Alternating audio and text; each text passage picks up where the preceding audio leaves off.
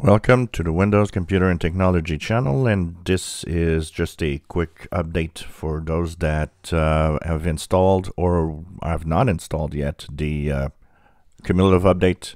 That is an optional update for bug fixes yesterday.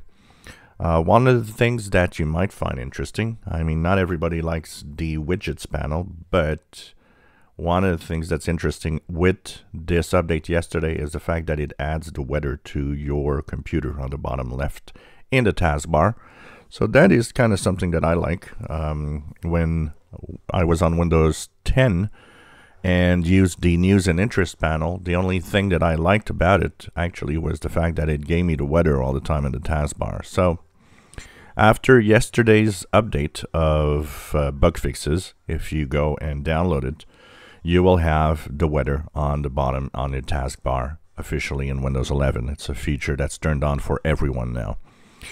And if you haven't, and or if you're waiting, well, that will actually happen on Patch Tuesday in the month of May, as Patch Tuesday will include the bug fixing updates of yesterday at the same time. So hope that uh, you enjoy that and that um, you uh, like the fact that the weather is there. And, um, you know, that's pretty much the only thing right now that I like about the widgets panel, as the widgets panel is something that, for me, I find it more of a big mess than anything useful. Um, so it's kind of cool to at least have something useful with that, um, with that uh, widgets panel, which is the weather.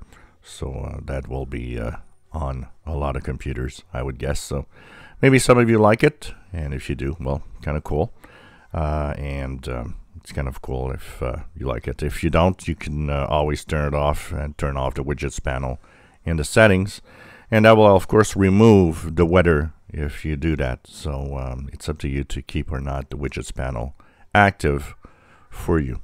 If you enjoyed video, my videos, please subscribe, give us thumbs up. Thank you for watching.